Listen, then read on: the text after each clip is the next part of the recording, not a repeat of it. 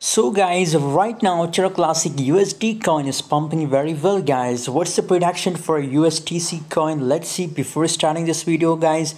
I recommend to all of you to join my free telegram group guys. Link is available in video description. Check the video description and join telegram group guys for free.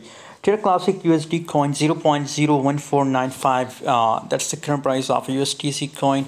11.25% positive changes occur in the USTC coin guys. And still right now if you look here USTC coin so it's pumping very well. And uh, after a long time not only USTC coin pump uh, I think Terra Classic coin Luna 2 coin the all crypto market is little bit starting positive changes guys so by the way what should we do in a right now situation and what's my prediction for USTC coin? Still my prediction about USTC coin is bullish because it's looking so bullish guys. So that's why I recommend to all of you that buy USTC coin and long position. I recommend to all of you to buy it and long position guys.